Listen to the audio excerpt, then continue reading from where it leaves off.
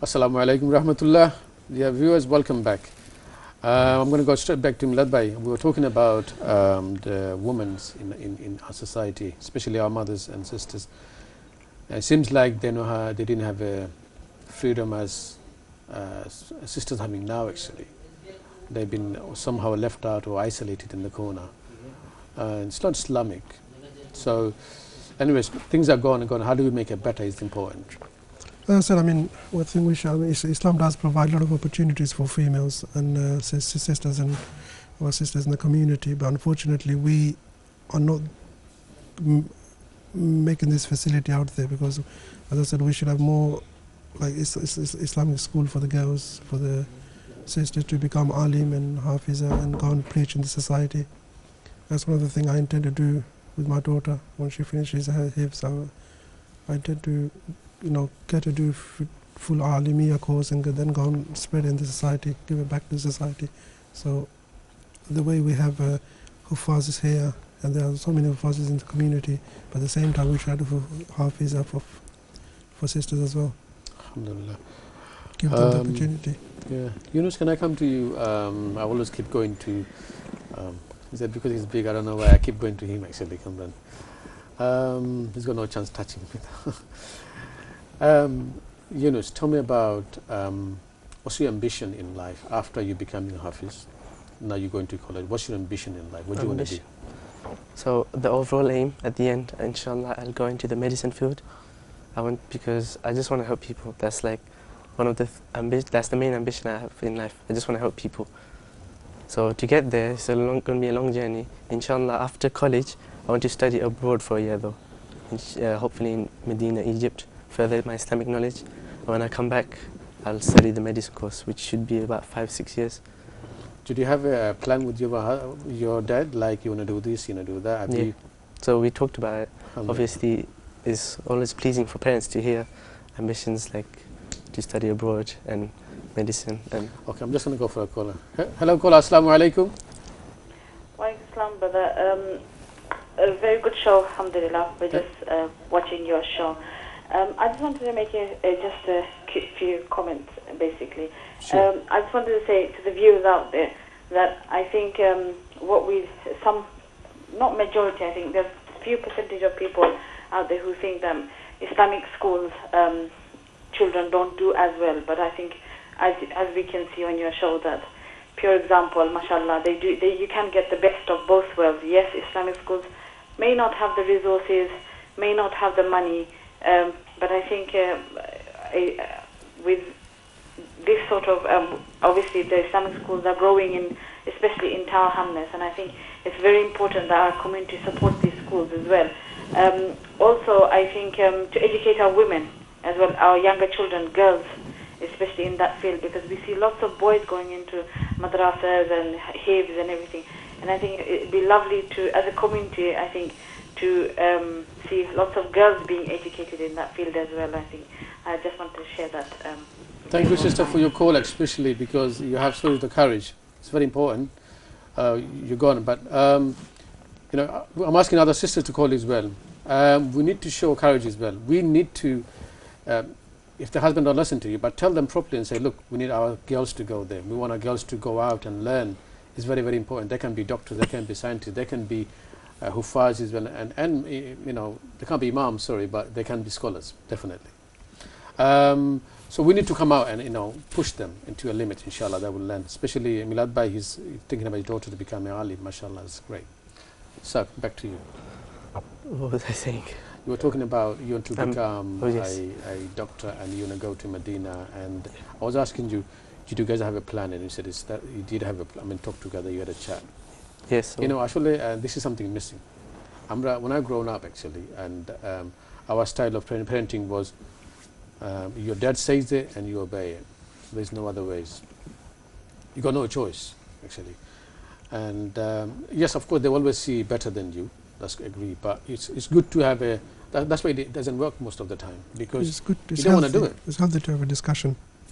And this is something good. You're already friends, and you are bonded and you are this is something missing in the community subhanallah it's, i'm so pleased to have both of you together in one time as well um, so your ambition to help people um, what do you see the most are people in need?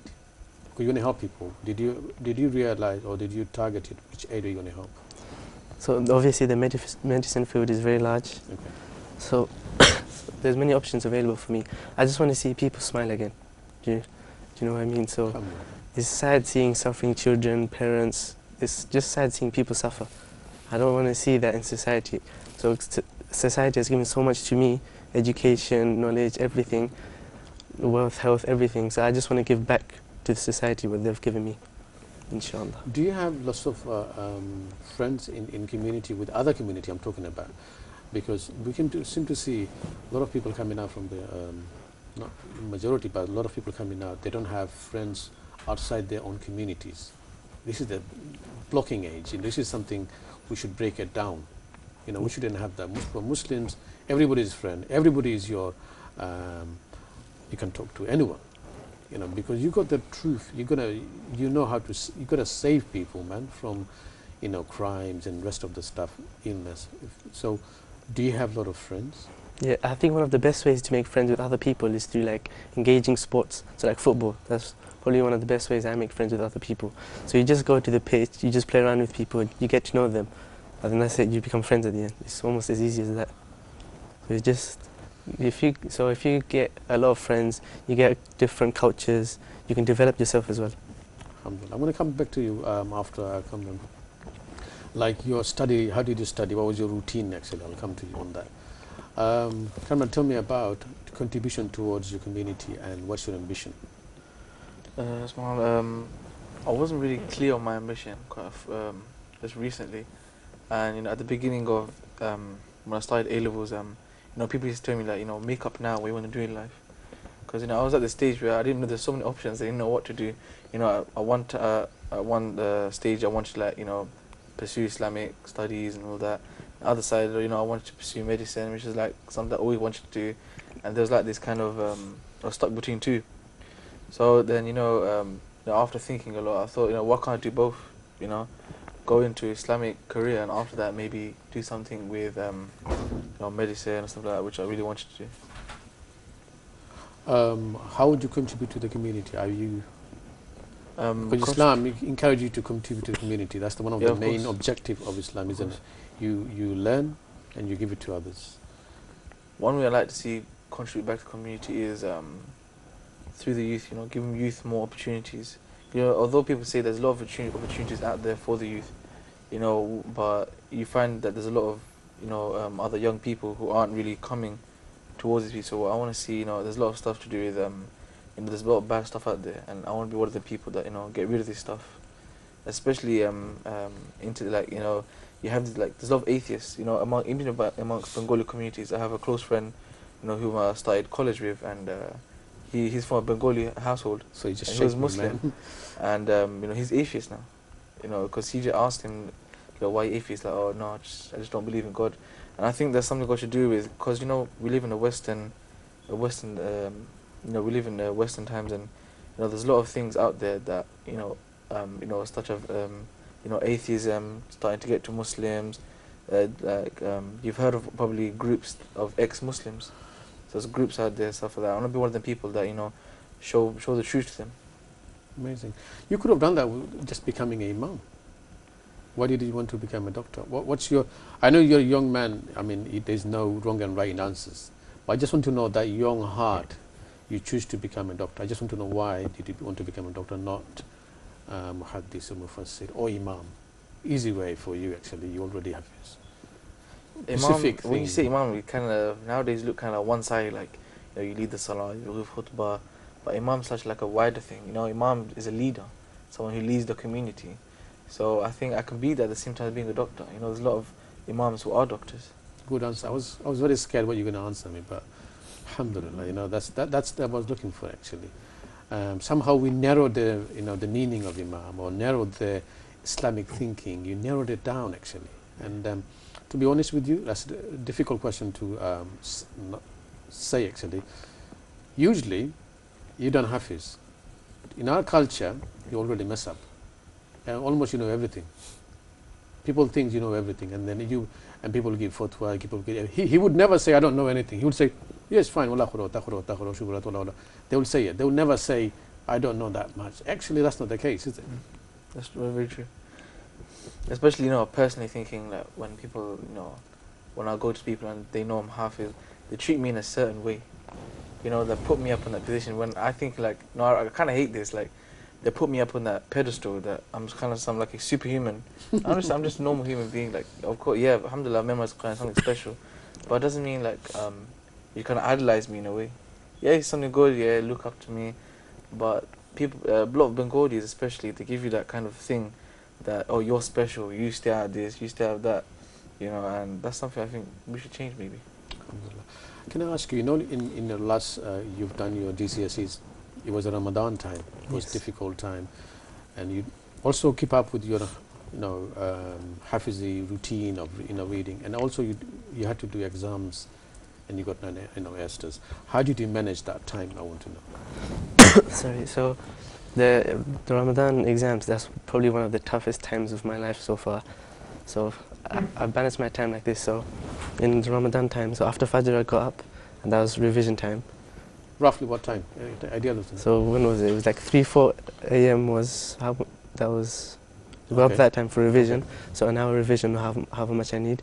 And then I read some Quran because I have to, in Ramadan especially, I have to read extra Quran. Then I have a nap, get up for school, and then go to school with my friends for some revision classes. How long the So it depends. So if I had a morning exam, it'd be a short revision class. If it's afternoon exam, we'd revise for the whole morning together. So then we share knowledge, everyone helps each other. So we go into the exam prepared. And then after the exam, till iftar time, I didn't revise as much. It was more Islamic side, so reading Quran, praying, things like that. After, excuse me, after Maghrib, I'll read a bit more in my studies. Then I go to Taraweeh. I didn't used to pray all of them because it was a bit tough to wake up as well. So most of the time I prayed eight rakahs. After that, I come home, revise a bit more, and the cycle repeats. Subhanallah. It was tough. Did, you, did your mom make you tea, coffee, anything like that to help you out, man? It was fasting. Okay, okay, lucky then.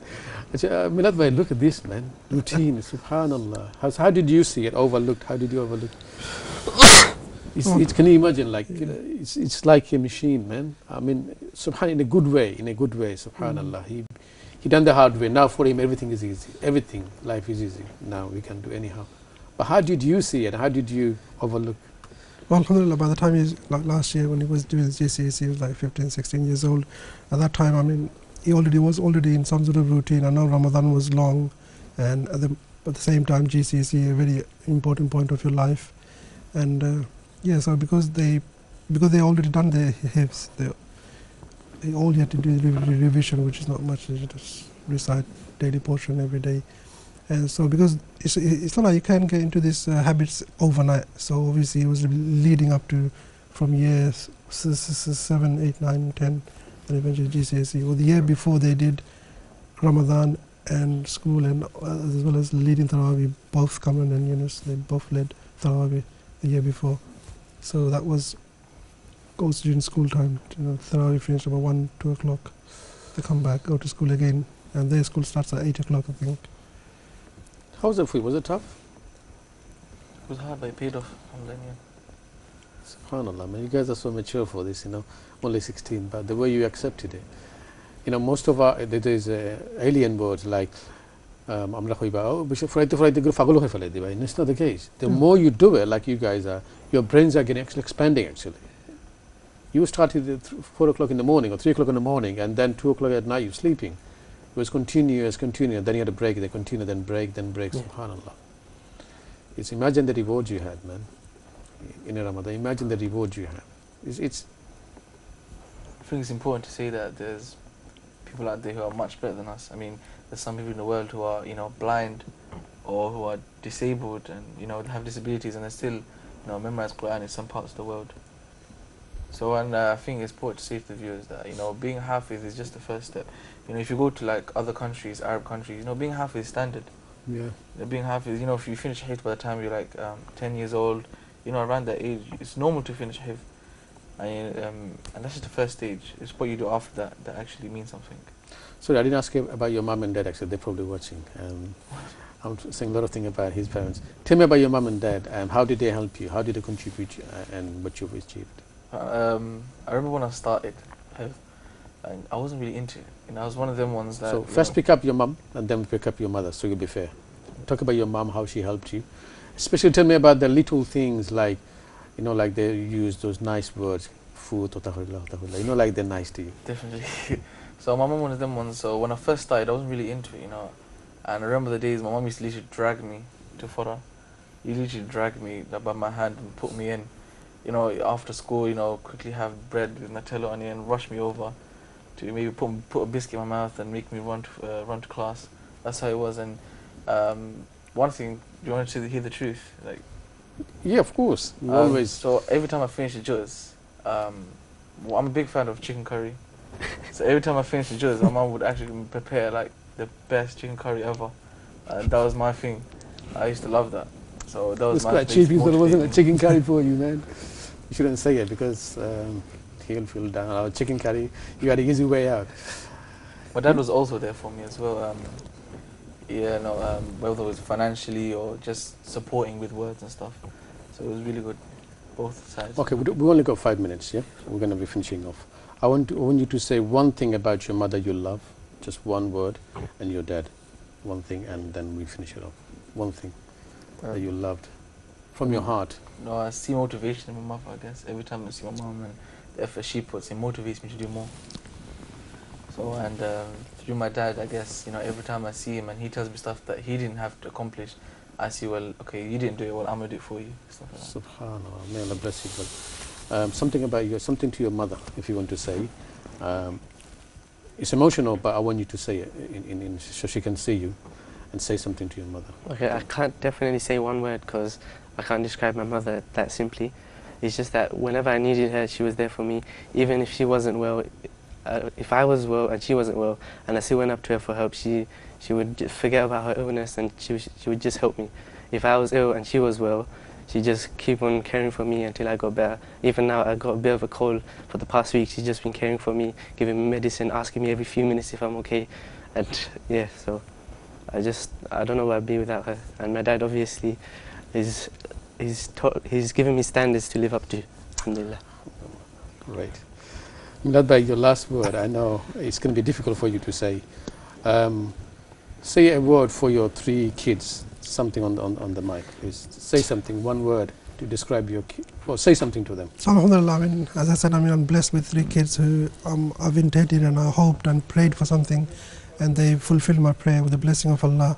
All three of them became Hafiz, and I make dua that Allah accept their hifz and give them the highest standards in Akhirah. Dear viewers, um, I, I, I could have gone on and on and on. Those guys are amazing. Um, we have learned so much from them. They're Hufaz, they're very humble. They think they don't know anything. I can't believe it. They finished the whole Quran and then now they want to become a doctor. They keep saying they don't know anything. You know, I'm so amazed to hear this humbleness from them. And they're so proud of their parents. And now their parents will get their rewards for what they've done for them. And this is the amazing thing. Um, I wish I could have done for my kids, but now I feel really, really bad. You know, um, if you would want to mention something, one of your, you know, the group you guys been with, your friends especially, who would you mention?